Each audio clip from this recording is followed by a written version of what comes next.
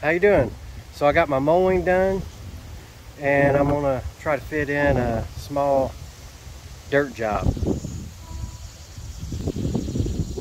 So somebody wants me to come over to their house and they've got some low spots along their driveway on each side. I'm gonna fill that in and seed and straw it. So I got the dirt in there. And then the straw, this is the first time I've got this type. I guess they compress it down and uh, I've never used that type. I just use the regular bells and it's not plastic. But I'd have to say I, I like this pretty good, especially if you was picking it up in a car. Like if you want to put it in your trunk and I have to worry about getting straw in there. It's uh, got plastic on there pretty good.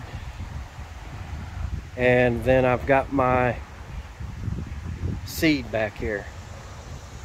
So this is the type job uh, you might look into doing. All I have to do is uh, fill in the low spots along the driveway, throw my seed down. I usually rake it uh, around, get it some of the seed underneath the dirt, and then straw it. And if it's a windy day, you could get a hose and uh, wet it down uh, where maybe it not might not blow around as bad. But uh, this is another type job that I do besides my mowing and my shrub trimming.